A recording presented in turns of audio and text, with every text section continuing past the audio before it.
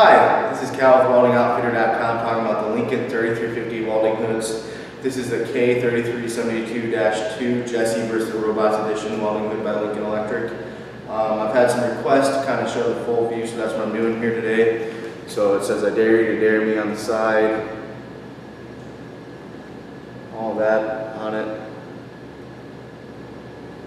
Has a robot on the top.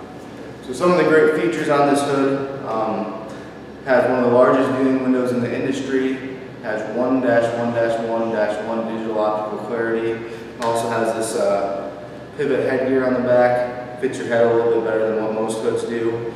Uh, this will help you with that. Some of the great things that come in the box with it, you get three inside lenses for it, also five outside lenses that kind of cuts the cost down right out of the gate for you.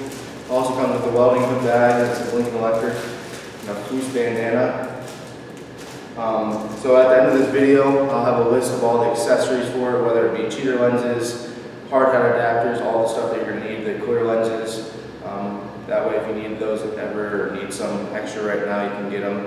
Thank you for stopping by today and have a great one.